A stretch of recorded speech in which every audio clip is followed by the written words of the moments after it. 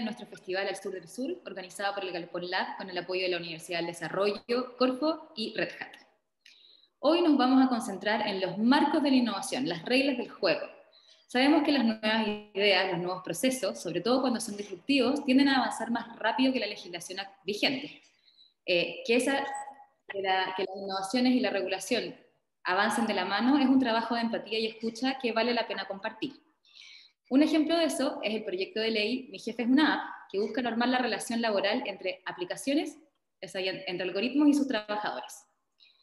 Para eso, estamos hoy con la diputada del Distrito 9, Maite Orsini, precursora del proyecto de ley Mi jefe es una app, y Felipe Simonson, director de Asuntos Corporativos para el Cono Sur de Didi, una app que proporciona vehículos y taxis de alquiler a través de aplicaciones y teléfonos inteligentes.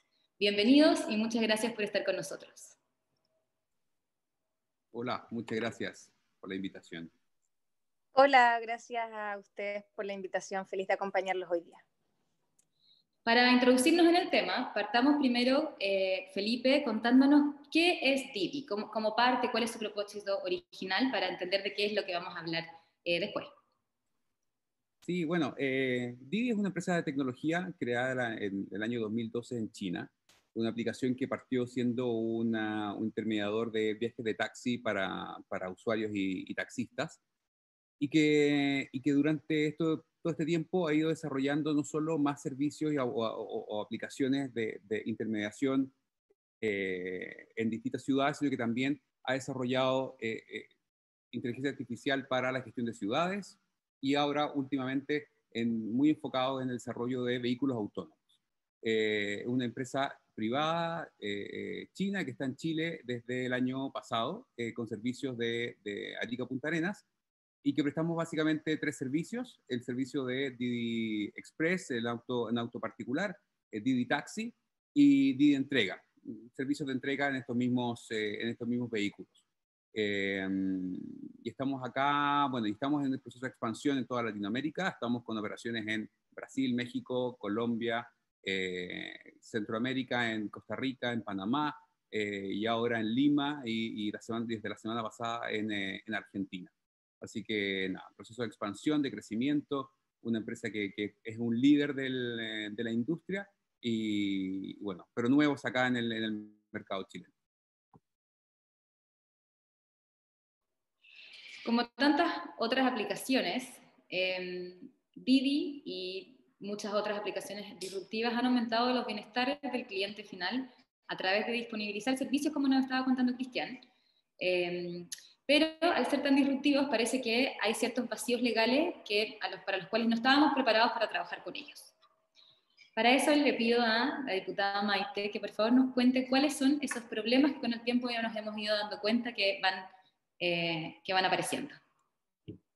Y cómo tienen, ustedes están proponiendo solucionarlo también.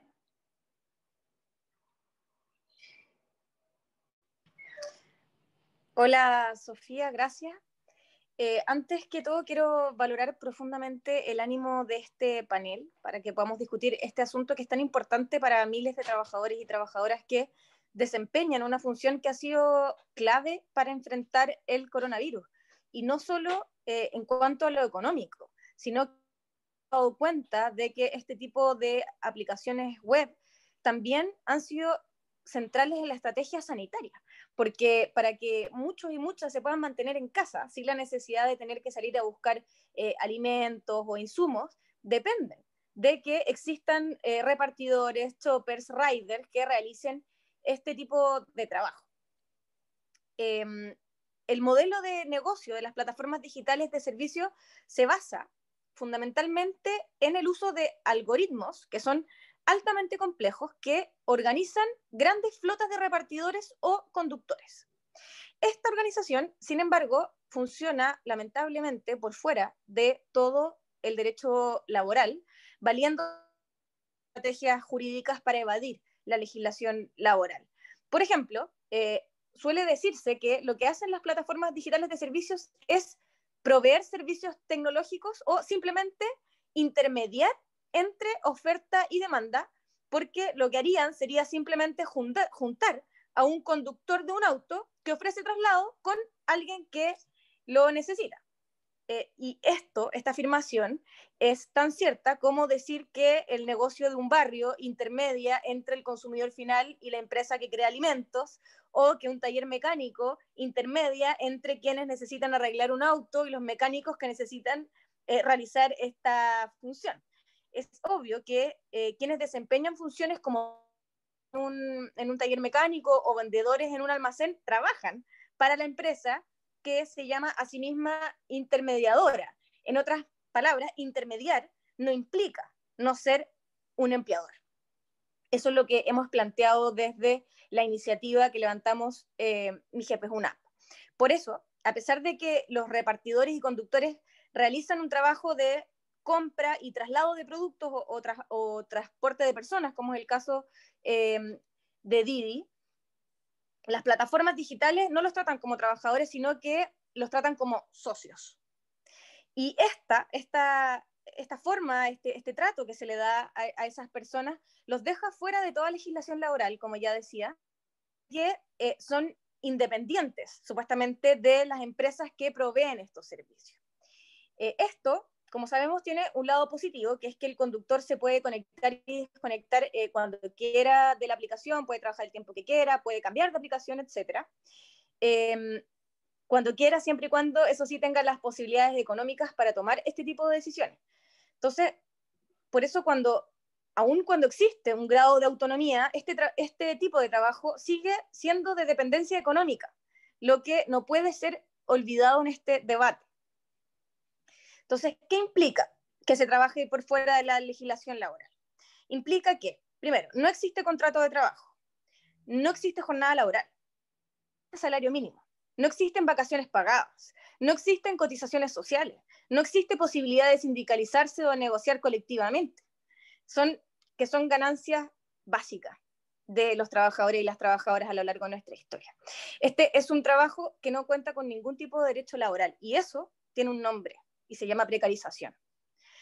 Y en pandemia, esta situación es aún más terrible porque revela los riesgos a los que están sometidos los conductores y repartidores de manera mucho más cruda. Ante la pérdida de otros empleos o las complejidades propias de la crisis económica que estamos enfrentando, estos trabajadores deben asistir a trabajar a pesar de, por ejemplo, no tener un seguro de salud que los cubra en caso de cualquier accidente o un accidente de trabajo, no tienen, han perdido su previsión dada la crisis económica y tienen que salir a trabajar de todas modas y, no tienen previsión, previsión económica y su empleador no los provee de aquello. Eh, o inclusive pueden contraer coronavirus, eh, no solamente un accidente laboral, pueden eh, someterse a la, pandemia y no tienen previsión, previsión. Entonces, ¿qué es lo que proponemos nosotros? Si me queda tiempo, Sofía, ¿me queda? Un poquito. Sí, ya. Entonces, ¿qué proponemos nosotros para cerrar? Lo que proponemos básicamente es tomarnos en serio que esta es una relación laboral, porque quien manda, y de ahí el nombre del proyecto de ley, es un algoritmo.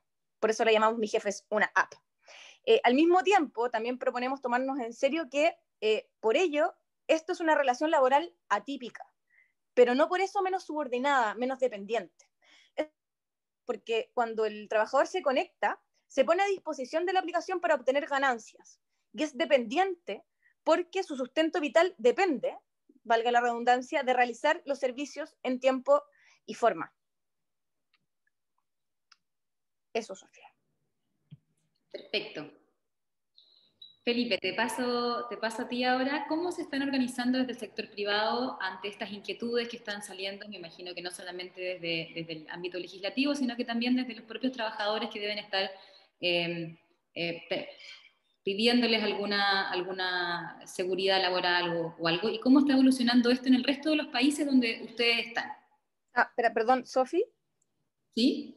Es que me eh, nombrar como en concreto las cosas que trae el proyecto de ley. No sé si lo dejo para después o... o, em, después la, segunda, la siguiente pregunta es de la experiencia comparada, entonces quizás ahí puedes partir con la experiencia de Chile y la experiencia comparada. Para hablar primero de la, de la idea y después del proyecto eh, propiamente tal. Ya. Bueno, Sofía, aquí este es un tema bastante novedoso eh, en, el, en, el, en, el, en, el, mundo. ¿no? Eh, es cierto que las, las tecnologías corren más rápido que, que toda la legislación y toda la regulación posible. Nos pasó con Internet, nos pasó con, con la, nos pasó con la telefonía celular, nos pasó con todo lo que tenga que ver con el desarrollo tecnológico, viene, viene, con, esta, viene con esta carga porque es así, y el trabajo legislativo es muchísimo más lento. Sin embargo, eh, los países han adoptado distintas, distintas, eh, distintos mecanismos. Em, y hay países como eh, Uruguay que han definido que, que, que, se, se, que, exista una relación laboral, y otros países que, y la mayoría, la gran mayoría de los países señalan que estos son trabajadores de, de corte independiente. Y el proyecto de ley, nosotros no estamos en, en, en, contra, en lo ideológico, de ningún proyecto de ley, pero estamos en contra de todos desde el punto de vista procesal. Por una razón muy sencilla. Este servicio ha sido catalogado por distintas eh, autoridades de gobierno como un servicio ilegal. ¿sí? Em, eso por una, por, una, por una parte. Segundo, eh, y creo que más importante que eso, es que estamos regulando algo sin conocer todos los datos que están detrás de esta, de esta, de esta industria. Porque eh, da la sensación, cuando uno, uno lee, digamos, el, proyecto de ley o todo, cualquier proyecto de ley que, que haya en este, en este ámbito, es que no hay, no hay una diferenciación entre los distintos tipos de industria. Por ejemplo, las, todas las apps no son lo mismo. Eh, todos los servicios no son iguales. Por lo tanto, hoy día eh, es necesario contar con información pública para poder tomar mejores decisiones y, tomar, y, regular algo que va a impactar a cientos de miles de personas con la evidencia en la mano, con, datos, con los datos públicos. Por ejemplo, eh, hoy día en promedio en, eh, las plataformas se conectan los conductores en promedio 3,3 horas diarias. Em, la gran mayoría lo hace como una segunda entrada. Eh, solo el 2,7% se conecta más de 8 horas diarias el 70% lo hace menos de cuatro. Eh, los días que se conectan eh, eh, se, concentran muchísimo más en del miércoles al viernes. en fin, hay, hay una multiplicidad de, de, de, asuntos que es muy necesario tener a la vista para poder regular algo que creemos en Didi que es muy necesario, porque la disrupción, si es que no genera, si es que no genera beneficios a todos, es interferencia. Eh, esta, esta, esta, idea de disruptiva finalmente tiene que ser una que genere beneficios para todos los involucrados en una determinada industria y que nadie sienta que está perdiendo o que se sienta eh, que, que, no está participando de igual manera que, otra, que, otros, digamos. Y en ese sentido, los usuarios tienen beneficios, los conductores tienen beneficios, pero, pero por supuesto que se puede avanzar en, este, en, esta, en, esta, en esta línea. Pero no hacerlo sin conocer bien esta industria. Y lamentablemente, y ahora ligo con lo que estaba diciendo antes, esta, este servicio no está regulado en Chile. Eh, nosotros estamos empujando la regulación, yo aparezco, eh, eh, no sé, cada vez que puedo y me cubre la, en, medios tratando de promover una regulación porque es, porque es, es, parte esencial de la formalización y la dignidad de esta actividad es que esté regularizada. Y, y por eso conecto con, con lo anterior para, para, para ciertas autoridades de gobierno, de este gobierno y el anterior, eh, esta actividad la declaran como ilegal, a pesar que ningún tribunal ha señalado eso, pero lo declaran como ilegal. Por lo tanto, siguiendo esa misma lógica, cualquier vínculo o cualquier mejora en la protección social de esta actividad adolecería de objeto ilícito porque es una actividad ilegal. Por tanto, creemos que podemos avanzar en esto, debemos avanzar en esta línea, pero no sin antes regular la actividad per se para poder fijar los estándares de, del funcionamiento de la, del, del, servicio. Ahora, nosotros creemos que eh, si uno mira efectivamente el, el, comportamiento de esta actividad, nos vamos a dar cuenta de que es una actividad parcial, esporádica y temporal. Eh, y por lo tanto, la solución, yo creo que, que, el objetivo el objeto del proyecto nosotros lo compartimos plenamente, es decir, que la tecnología genere beneficios para todos aquellos que participan de ella. Pero mi, recomendación es no enamorarse, como dice Uri, Uri Levine, el, fundador de Waze, dice, no enamorarse de la solución, hay que enamorarse del problema. Eh, y por eso creo que podemos avanzar muchísimo de manera quizás mucho más sencilla, considerando la realidad de la industria y la realidad de los conductores con una lógica de fortalecer el mecanismo y, de, de, protección social en, en, el marco que nos entrega la, la legislación vigente de los, los, de los trabajadores independientes con aquellas cosas que la diputada mencionaba recién, es decir, con el tema de, eh, formalizar esta actividad, pagarle, eh, pagar el tema impositivo, por supuesto, y luego de eso todas las cotizaciones previsionales, el seguro accidentes del trabajo, eh, em, accidentes del trabajo, salud y previsión. Con eso vamos a tener incluido todo tipo de, de em, todo tipo de, licencias médicas, por ejemplo, postnatal, eh, todo aquello va a estar cubierto.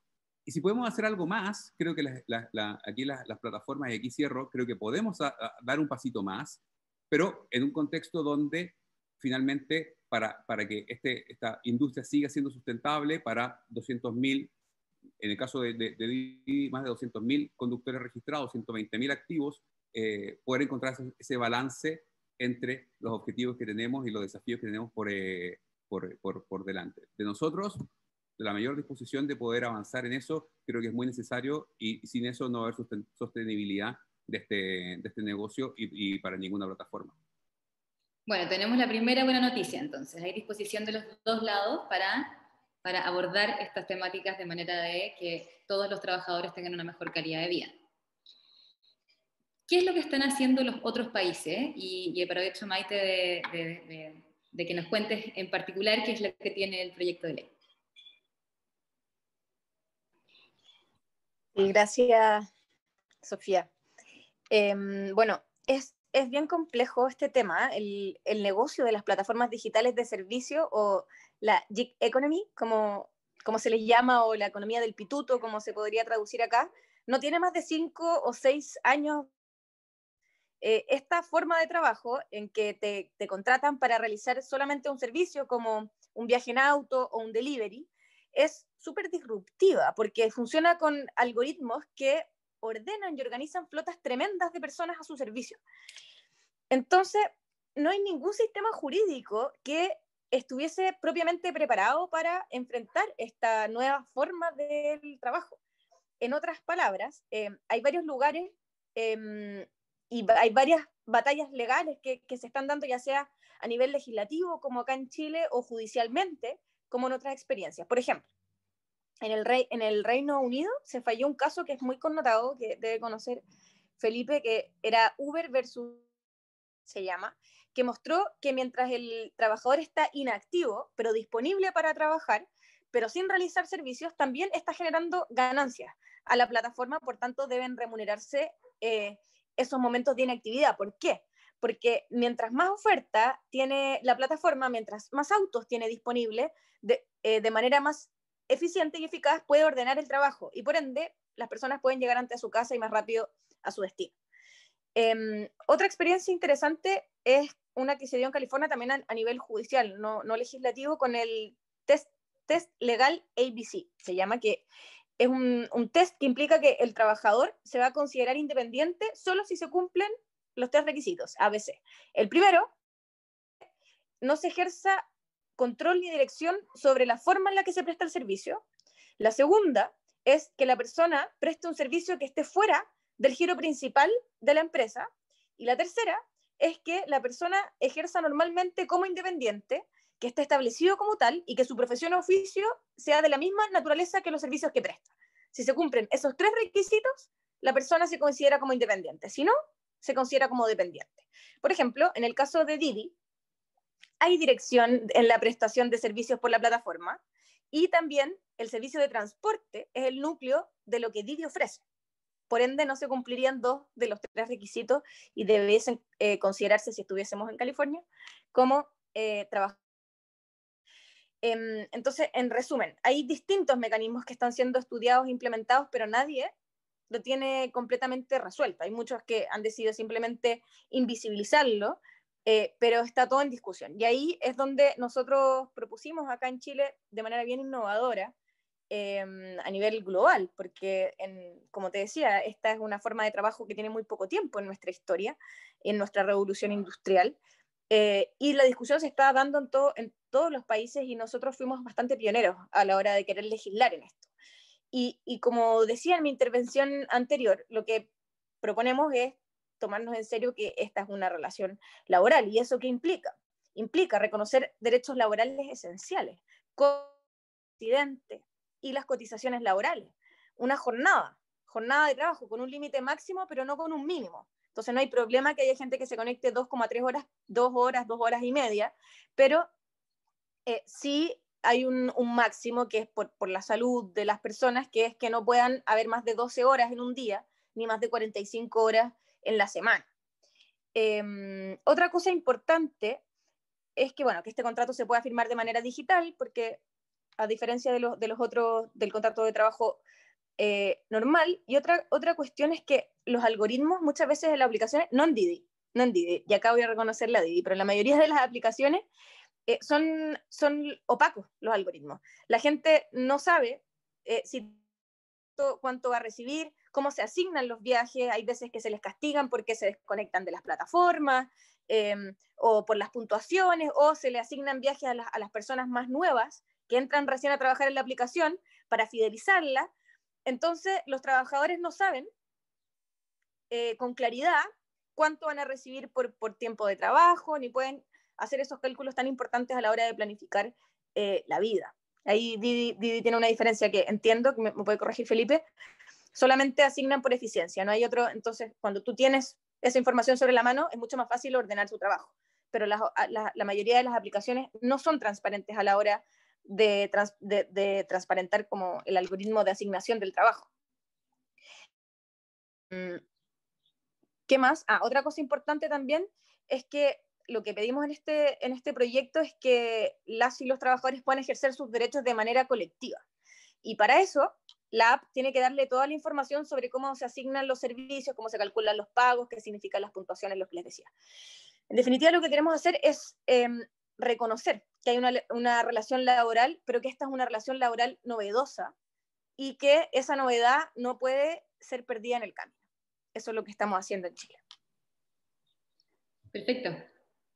En ese, tomando, tomando, las o tomando el proyecto de ley o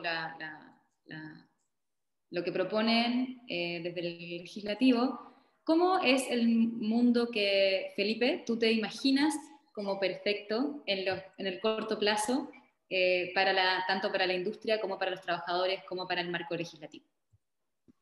¿Qué lugar soñamos ahora? ¿Dónde nos encontramos todos juntos? Mira, gracias por la, gracias por la distinción de, la, de, otras, de otros algoritmos.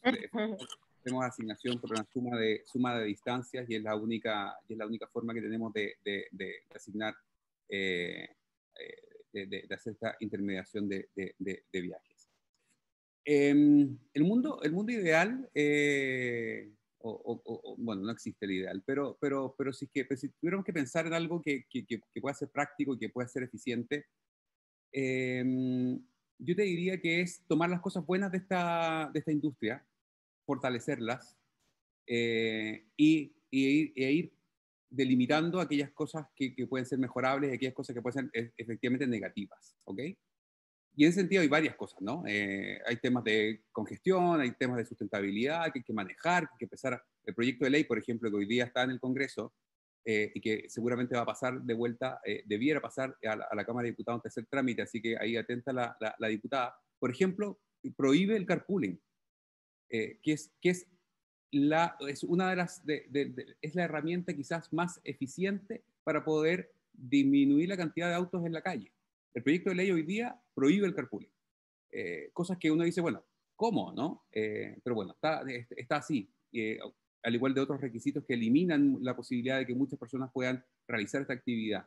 y, está, y, quiero ser bien enfático, esta actividad no es un hobby, esto no, no es un pasatiempo, y en ese sentido creo que hay que, hay que, hay que ser activos en esta, en esta, esta materia. Eh, ¿Y cuál es mi mundo, cuál es mi mundo ideal? El que creo yo. Y, aquí, ojo, eh, si ustedes ven las, las, intervenciones de las asociaciones de conductores, con quienes yo personalmente me he reunido desde que aterrizamos en Chile, jamás ha estado en la palestra la discusión del tema laboral. Eh, y solo lo menciono como, como, como para, para también saber que, eh, entiendo que otras industrias tienen esa, esa, esa, esa, petición. Nosotros, a mí jamás, y lo digo súper abiertamente y muy responsablemente. El, em, y, y, hoy día estamos en una industria que, antes de pandemia, eh, en, un, en, un, mercado que estaba creciendo y que, estaba, que, era, que era, muy, muy, era muy buen mercado por efectos de, de, la cantidad de viajes que se estaban haciendo, un conductor que se conectaba ocho horas diarias generaba eh, ingresos que triplicaban el sueldo mínimo. Eh, y eso no, no, tiene nada de precario, ¿sí? Entiendo la... la, la, la pero, pero es más precario pensar que una regulación finalmente te puede obligar a, como aplicación a ofrecerle solo el sueldo mínimo. Y eso es una de, la, de, las consecuencias que no se ha estudiado de, de, de, seguir en el, exactamente con el texto que hoy día tiene el proyecto de ley. Eh, porque, porque hoy día, si tú tuvieras que hacer eso, cae en ese tipo de, contradicciones. Quiero hacer un, generar un bien, pero finalmente no puedo generar bien. Cuando hablamos de la, la, de la jornada pasiva, es importante también tener, tener presente de que esta actividad es esencialmente no exclusiva. Por lo tanto, puedo estar haciendo esto en muchas, en, muchas eh, plataformas al mismo tiempo y estoy seguro que ustedes, si que han, eh, se han subido algún auto de aplicación, han visto que el conductor tiene dos teléfonos y tiene tres aplicaciones y, bueno, y tiene esas, esas características que, que, el proyecto no lo considera. Estoy diciendo, no, no quiero, no quiero eh, aquí matar el proyecto porque creo que hay una, es una discusión que hay, hay que abrir, pero me parece que del punto de vista técnico legislativo hay ciertas cosas que pueden tener implicancias que no necesariamente van a ser las positivas o las buscadas por los autores y, y, por la, y, por, y, tampoco por los, por los conductores. Y en ese sentido, el mundo, el, el, el ideal creo que es tomar el, el, trabajo de independiente, trabajo independiente, trabajador independiente, con, con fortaleciendo aquellas cosas que pueden ser mejoradas, como por ejemplo un seguro de, de desempleo, eh, hay que recordar también que en el caso de la regulación del, del ride hailing, eh, este va a tener, eh, ya tiene seguros de, accidentes, por lo tanto cualquier conductor que tenga que sufra algún tipo de accidente está cubierto por lo y conductor y pasajero, aprovecho para hacer el, dato, todos los viajes de Didi están asegurados, desde que se acepta el viaje hasta que se baja el último elemento del, del, del, del auto. Y además hemos, tenemos un fondo de COVID eh, eh, donde también hemos sido responsables en eso. Entonces quiero decir que esto, esto sigue la línea de lo que ya hemos hecho, de lo que estamos haciendo, lo que hemos hecho, y creo que hacia allá debiéramos eh, apuntar de manera tal de poder, aquellas personas que, recordemos, el, el 70% que, que hace esta actividad como una cuestión accesoria,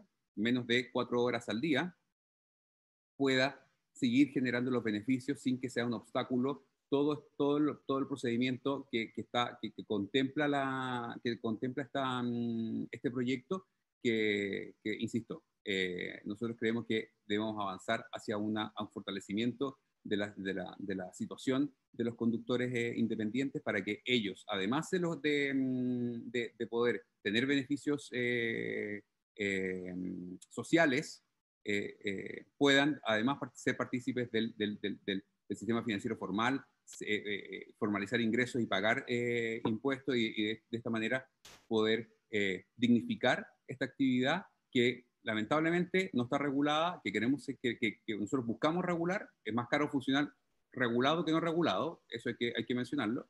Nosotros queremos estar regulados y creemos que la sostenibilidad de esta industria tiene que ver con la, el, el, un correcto nivel de protección eh, para que siga funcionando y, sacándole el provecho y sacándole el jugo a las cosas positivas que, que, esta, esta trae y mejorando aquellas cosas que tenemos que, que, mejorar, como por ejemplo la protección social de los conductores. Diputada Maite, ¿cómo se imagina el futuro en esta materia? ¿Cuál es el lugar o el país eh, que sueña y donde nos encontramos todos? Como mismo le pregunté a Felipe. Me voy a abstener de contestarle a, Felipe algunas cosas que, comentó, salvo una que no puedo dejar pasar, eh, que es que nosotros hemos trabajado este proyecto por años ya, junto al diputado Jackson, con distintas organizaciones de trabajadores eh, web, con Riders Unidos y con otras organizaciones que están por fuera de, de lo legal, porque como les dije, no tienen posibilidad de ejercer sus derechos de manera colectiva. Eh, y lamento que, que, no, que no lo sepa Felipe, pero han habido movilizaciones en la región metropolitana de la que nosotros hemos, hemos, hemos sido parte, distintas eh, asambleas, hemos participado en asambleas en distintas comunas con cientos de trabajadores que eh, sus demandas son principalmente dos, las condiciones laborales, por un lado, y por otro lado, la seguridad. Entonces... Yo me refería, a, conductores. Eh, en conductores jamás ha sido una, una, por eso digo responsablemente que no, no, no hice la diferenciación de que los, los repartidores sí es un, es un, es un tema y que, y que han habido, como, como tú bien dices, movilizaciones y todo, pero de conductores de aplicaciones, yo jamás recibí ese, ese por eso esa, ese, ese, paréntesis, no, no, estoy desacreditando lo, lo, anterior. Bueno, ahora vamos a pasar los sueños, es más bonito, ¿ya? Em, yo soy bien soñadora, Sofía, así que permíteme una, una reflexión. Yo creo que el futuro es hoy día, y hoy día lo que necesitamos es actuar rápido para proteger a los y los trabajadores de los azotes más brutales de esta pandemia que nos ha tocado enfrentar. Y eso lo que significa es que urge un seguro de enfermedades laborales. Aplicaciones provean a todos y a todas sus trabajadores de insumos necesarios para mantener las condiciones sanitarias adecuadas, para prestar los servicios sin ponerse en riesgo a ellos, ni poner en riesgo, en riesgo a los clientes o a las personas a las que les prestan estos servicios. Lo que sueño también es que el futuro sea nuestro, que sea de todos y todas. Yo imagino un mundo en el que la tecnología esté a disposición de las personas y no al revés. Imagino un mundo en el que las personas no son usadas por las aplicaciones, sino que las aplicaciones permiten ordenar el trabajo de una manera que también las beneficie a, a ellas, a las personas, con viajes más cortos, seguros, con un salto adecuado, con los derechos que merecen y eh, sin sistemas que no entiendan discriminaciones injustas. También sueño con que las y los trabajadores en definitiva puedan relacionarse de tú a tú con la aplicación y que eso permita que las ganancias que esta industria produce sean distribuidas de manera justa. Em, y si me permiten una última reflexión, em, esta revolución industrial llegó para quedarse. Y la pregunta que tenemos que hacernos, en mi opinión, no es si queremos que vaya más lento o vaya más rápido, o que sea más o menos. Yo creo que efectivamente tiene que ir más rápido y que sea lo mayor posible. Pero lo que tenemos que discutir es la dirección de esta evolución. ¿Qué va a pasar cuando, por ejemplo, los autos personas, sino que puede, sonar medio, medio loco, pero lejos de eso. Y, para, para cerrar, creo que no tenemos que oponernos a esa posibilidad, sino que pensar en un mundo con menos trabajo o con trabajos distintos que solamente puedan hacer los humanos, que los robots, por ejemplo, paguen impuestos y que nosotros nos dediquemos al ocio y a cuidarnos los unos a los otros. Eso. Ese último sonó como un, sueño para todos, ¿o no? Sí, sí. Eh, los robots paguen los impuestos y que nosotros leamos, estudiemos, seamos felices. Em, muy soñador, me gusta. Toquemos música. En el, en los últimos, en el último minuto que nos queda para cada uno, eh, me gustaría que, que, viéramos qué es lo que sacamos en limpio de la opinión del otro o del punto de vista del otro. Entonces, Felipe, parto contigo. ¿Qué es lo que rescatas del de, punto de vista de la diputada Maite? Y Maite, luego, ¿qué es lo que sacas en limpio del punto de vista de Felipe? A ver, yo creo que, que, la, enfrentar esta, esta, esta, discusión creo que era tremendamente necesario y, y, agradezco a la diputada que, que podamos conversar y, y quizás hay cruzar una invitación para seguir con esta conversación quizás en, en el, en el uno a uno más, más para, no, para no, digamos, profundizar mucho más ni alargar mucho más, pero, pero creo que es, es muy importante eh, el poder conversar de esto de, forma transversal, ¿no? Eh, y, la, necesidad de mirar y empezar a mirar todo lo que es la discriminación algorítmica que pueda, que pueda existir, creo que es algo tremendamente importante eh, para evitar cualquier tipo de, de, mal funcionamiento. Yo creo que, eso, eso atenta contra la, contra la esencia misma de la, de la, de la, de la innovación.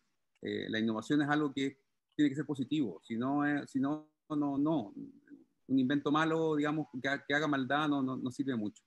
Entonces creo que es importante echarle una mirada a, eso. y de antemano cuenta con nosotros para poder conversar este tipo de cosas. Nosotros lo hacemos de forma muy abierta, nosotros somos muy, muy de, poder compartir datos. Eh, aquí por razones obvias no puedo, puede compartir lo que puede compartir, pero, pero en privado se por supuesto que uno puede compartir más información acerca de lo que está pasando, hablar con evidencia y, nada. Y gracias por la, por la, me gustó el sueño. Yo creo que también estamos en, el, misma, en la misma idea. Eh, quizá lo de los robots es demasiado todavía futurístico, pero por, pero por mientras que en, que en que los beneficios que genera una industria vayan para todos y que, que, en el fondo nadie se sienta oprimido, ni se sienta víctima de una actividad, sino que se sienta, se sienta honrado, que se sienta feliz y realizado de poder, eh, de poder eh, eh, ejecutarla. creo que así ya tenemos que, que, caminar y, y, bueno, desde Didi agradecer esta, esta, esta invitación y, y reiterar nuestra disponibilidad en avanzar en, en, en esto y, el marco regulatorio que fije las reglas justas, eh, balanceadas para todos, creo que, que, es el, que eh, debiera ser nuestro fin, nuestro fin común. Gracias, Felipe. Maite.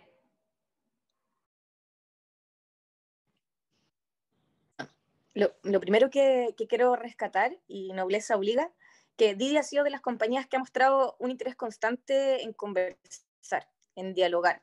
Ha conversado con mi equipo, eh, fue a exponer a la comisión, eh, está hoy día en esta instancia disponible a tener este diálogo y eso eh, es sumamente valorable porque de corazón creo que es una compañía, a diferencia de otras, que entiende que hay que hacer cambios. No sé en qué cambios hay que hacer ni la extensión de esos cambios, pero es sin duda un buen punto de partida que, se entienda que hay que hacer cambios. Valoro que se haya mencionado acá la importancia de reconocer derechos laborales de las mujeres como el prenatal y el postnatal. Em, me, parece, me parece que es un muy, muy, muy buen punto de partida. Otra cosa eh, que quiero valorar es la manera en que funciona Didi en la asignación de los viajes. Como, como hablábamos hace un ratito, eh, que lo único que tienen en cuenta para asignar una carrera es la eficiencia de los recursos no toma en cuenta ni la puntuación del conductor, ni los castigos que se le quieran hacer por haber cancelado un viaje o por haberse desconectado mucho tiempo, y eso es súper valioso porque es transparente con los trabajadores. Y es, una de las cosas que nosotros estamos eh, peleando para que sea incorporación, eh, y da gusto ver cuando eh, hay compañías que tienen conciencia de, esto y, lo, toman como política sin que tengamos que, que imponer eh, no significa que productores de Didi tengan los derechos laborales que nosotros creemos que deberían tener, pero como decía, es un buen punto de partida que estén disponibles al diálogo y que sean transparentes en la asignación de los recursos. Eso. Muchas gracias a los dos. Eh, este es nuestro primer festival introductorio acerca de innovación, así que Creo que hemos logrado dar luces de lo que se está discutiendo, de cómo estamos buscando soluciones, de puntos de encuentro. Eh, me encanta que, hayamos encontrado un lugar común del lugar donde soñamos estar. Eh, aunque la receta hacia cómo vamos a llegar ahí todavía tenemos que discutirla entre todos, eh, pero, pero nos da esperanza además del Chile que viene. Así que gracias por eso, esperamos en el próximo festival volver a tenerlos ya con con un poco más de cosas esclarecidas y una discusión que, que sea aún más profunda.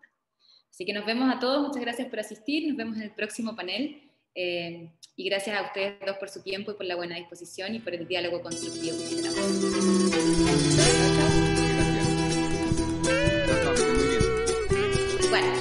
amo.